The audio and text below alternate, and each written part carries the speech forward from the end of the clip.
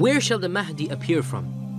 This indeed is a very deep question, and there are different sets of ahadith describing where he shall appear from. One set of ahadith describes that a group of Muslims shall march from the east. In one narration, even the land of Khurasan is mentioned. And these ahadith all predict the appearance of an army from the east, riding and marching with black flags, and they shall have within them the Mahdi. Now, some of the famous muhaddithun, scholars of hadith, rejected all of the ahadith that mention the black flag, and they felt that these were fabrications done by the sympathizers of the Abbasid Empire. This is because the early Abbasid revolutionaries used the symbol of the black flag in their fight against the Umayyads, and they eventually won. Now, there is no doubt that many unscrupulous people put into fabrication a hadith praising the Umayyad dynasty, praising the Abbasid dynasty, and so on and so forth. However, we do not reject a hadith merely because of such suspicion. Rather, now in retrospect, we can easily state that the Mahdi was not from the Abbasids. And the fact that the Abbasids used the symbol of the black flag does not necessarily mean that the ahadith describing the black flag is weak. In fact, quite the contrary. We can twist this around and say the very fact that the Abbasids used the black flag was because they knew of this belief amongst the Muslims that the Mahdi and the army of the Mahdi will have the black flag. So they took advantage of this hadith and they wished to prove that they were marching from the east with the black flag. However, they were not the promised army of the Mahdi, and just because they used the black flag does not mean that the hadith about the black flag are da'if. Rather, the correct opinion is that the ahadith of the black flag are at least Hasan li at least Hasan in light of other evidences, and this is the opinion of many scholars of the past and present, such as Imam al-Dhahabi, the famous scholar of hadith, such as Ibn Kathir, the historian and muhaddith, and of course in our time Shaykh al-Albani as well. Some of the ahadith that mention the black flag are that which has been narrated in the Sunan of Ibn Majah and also in the Mustadrak of Al-Hakim, where Thawban radiallahu ta'ala an says that the Prophet ﷺ said, Three people shall fight over your treasure. Each one of them is the son of a Khalifa. And then none of these three shall be the victor. Then black flags will appear from the lands of the east. And they shall fight and they shall kill you like no other nation has been killed. In other words, there shall be a time of great trial and bloodshed. Then he said something I could not hear, Thuban is saying. And then he said, the Prophet ﷺ said, When you see them, then give them allegiance, even if you have to crawl over snow to get to them. Because they have Khalifatullah al-Mahdi, they shall have the Khalifa of Allah, the Mahdi in their midst. This hadith is also reported in the Mustadrak of Al-Hakim as well, and Al-Hakim says this is an authentic hadith upon the conditions of Bukhari and Muslim and Al-Dhahabi agreed with him. And Ibn Kathir said its isnad is very strong. However, some scholars said that it has a very slight weakness in it, and Allah knows best. The correct opinion is that it is an authentic hadith in and of itself. Ibn Kathir writes, commenting on this hadith, the treasure that is referred to in this hadith is the treasure of the Kaaba. Let me pause here for a while and give a footnote if you like. The Arabs of old, the tribe of Jurhum, they once had to abandon the Kaaba. This is way before the coming of the Prophet ﷺ, many, many hundreds of years before his coming. And they had to abandon it when the Kaaba was attacked, and they were forced to bury a large treasure, a vast treasure, somewhere underneath the Kaaba as it stands. And to this day, nobody has uncovered this treasure. So the Prophet ﷺ is saying that towards the end of time, Muslims are going to try to fight to get this treasure that is buried somewhere in the Kaaba. Returning to what Ibn Kathir said, the treasure that is referred to in the hadith is the treasure of the Kaaba. Three sons of the Khulafa will fight over it, and this shall be in the end of times.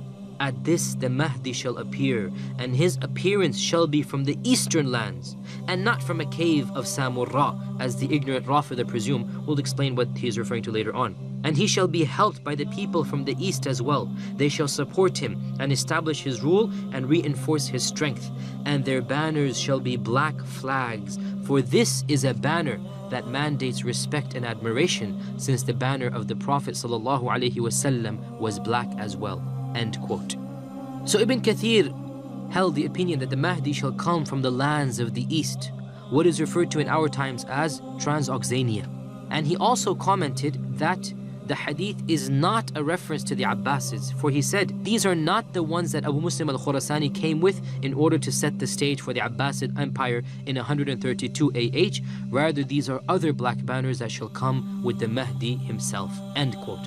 So, this is one hadith which mentions that three princes, in other words, three people whose fathers were khulafa. Are they three brothers? Are they three people? Each one is the son of a khalif from a different land? Are they two brothers and another prince? Allah knows best. Three people will fight. Their fathers were the khulafa. Three people shall fight somewhere around the haram, somewhere around the Kaaba, and none of these three will be the victor. After they fight, the Prophet ﷺ said, From the lands of the east shall come an army marching with black flags. And he said, they shall have the Mahdi in them. If you even have to crawl over snow to get to them, get to them because the Mahdi will be there. And this hadith in and of itself is Hasan insha'Allah ta'ala. There is another hadith which is weak and it also mentions the black flag. And remember we said when there is more than one hadith that is weak, you can increase its authenticity to the level of Hasan. And this hadith is reported in the Jami' of Abi Isa at-Tirmidhi or the Sunan of at-Tirmidhi and also in the Musnad of Imam Ahmad where Abu Hurairah anhu narrated, There shall appear from Khurasan black flags. Nothing shall be able to repel them until these flags are planted in Iliya. Iliya is one of the names of Jerusalem. So, in this hadith, it is narrated that black flags shall appear from Khorasan, armies carrying black flags. Nobody shall be able to defeat them until they plant their flags in Jerusalem. At-Tirmidhi said this hadith is gharib, and this is one type of reference to, uh, from At-Tirmidhi that the hadith is weak. And in its chain is Rishdin ibn Sa'd. Al-Hafidh ibn Hajar said Rishdin ibn Sa'd is weak. And likewise, other scholars also agreed that uh, one of these narrators is weak, therefore this chain is weak and it cannot be taken as an evidence in and of itself.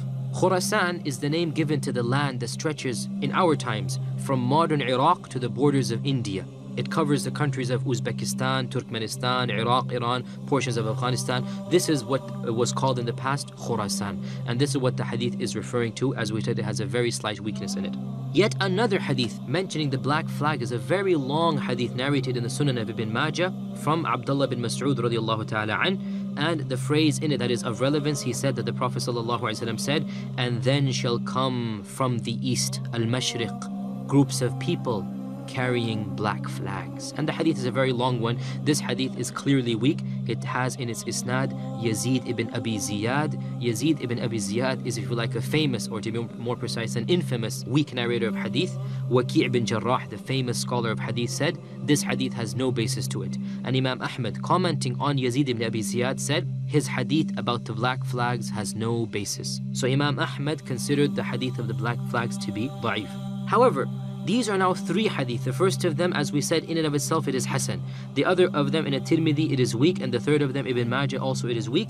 Put together, the concept of the black flags clearly is authentic. The first hadith is authentic in and of itself. Added to that, you have these two hadith, both of which are slightly weak. And so the concept of the black flag appears to be authentic and we can state for certain that of the signs of the Mahdi shall then be the coming of the black flags. As we mentioned earlier, some of the famous scholars of the past considered these hadith to be weak, and of the reasons given, not the sole one, was that the Abbasids used black flags as their banners in order to give the impression that they were this promised army from the east. However, as we said, we can look at this in the exact opposite light and say, why did the Abbasids want to give this impression? Because they knew of the existence of these hadith. And so in reality, the historical fact that the Abbasids came with black flags could actually lend credence to the ahadith of the Mahdi carrying the black flag. There is no doubt that the Abbasids did not have the Mahdi amongst them, but they hoped and they desired that he be amongst them, and that is why they used this concept of the black flags.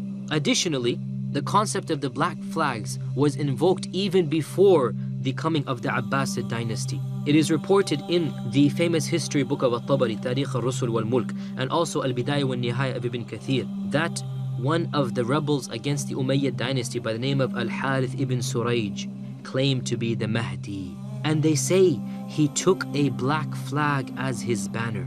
Al Harith was killed in the year 128 Hijrah, and he started his preaching over a decade before this, way before the Abbasid dynasty started its preaching in the Umayyad times. Therefore, there is clear historical evidence to support the claim that the concept of a black flag was linked to the appearance of the Mahdi, even before the coming of the Abbasid dynasty.